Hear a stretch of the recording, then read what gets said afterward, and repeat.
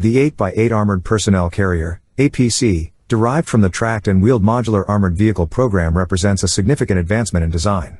Developed by BAE Systems Hägglunds to fulfill the Swedish Army's needs, the SEP project commenced in 1994. Prototypes were produced in 2000, tracked, and 2003, 6x6. Originally, Sweden sought 600 vehicles across 10 variations. However, due to substantial budget constraints announced by the Swedish Ministry of Defense in 2008, the next generation SEP program was abandoned as the new vehicle proved too costly. By this time, the SEP had reached its final development stage, with prototypes tested in the UK. Despite being excluded from the UK Ministry of Defence's Future Rapid Effect System, FRES, armoured vehicle competition in 2007, the SEP initiative persisted. The Swedish Defence Administration revised its requirements to 200 to 300 wheeled vehicles. Although a production contract was anticipated in 2009, with initial deliveries slated for 2011, this timeline was not met, and at that time, no other nation expressed interest in the SEP.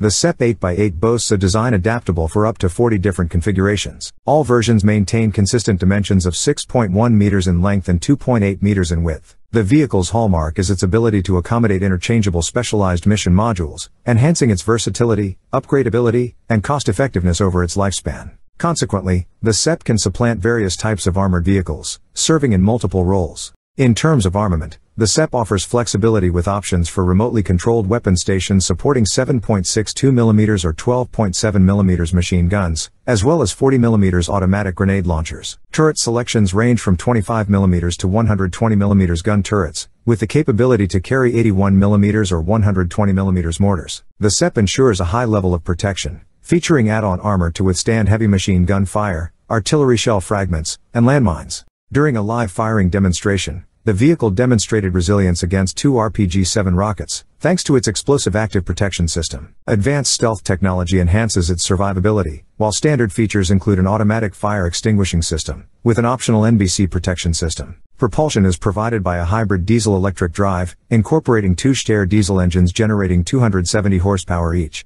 Additionally, the SEP offers a battery-powered option for silent operation, alongside a hydro-pneumatic suspension system. With pivot steering enabling rotation on its axis, optional features include a central tire inflation system. Although the SEP 8x8 APC is transportable by the C-130 Hercules aircraft, the add-on armor must be removed for airlift operations. In 2010, a revised and simplified 6x6 version of the SEP emerged, known as the Alligator Armored Patrol Vehicle. While lacking some of the innovative features of its predecessor, such as the hybrid powertrain and variable suspension, it retains the modularity characteristic of SEP vehicles.